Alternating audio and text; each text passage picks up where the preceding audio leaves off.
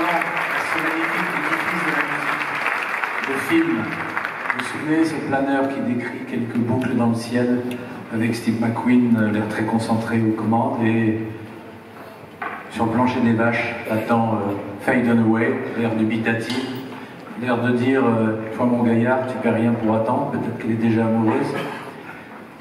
Peut-être que c'est une scène assez anecdotique, finalement, de ce chef-d'œuvre qu'est l'affaire Thomas Crown, mais la musique de Michel Legrand change tout. D'ailleurs, c'est cette musique-là et pas une autre qui gouverne euh, le reste du film.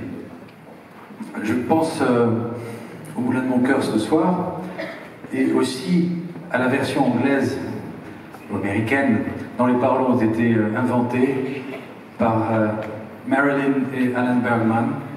Et ils deviennent ces moulins qu'on a dans la tête, dans l'esprit, de Windmills of Your Mind. Et je trouve ça magnifique, ces mystères, ces beautés de la, de la traduction, et mieux que ça, de l'adaptation.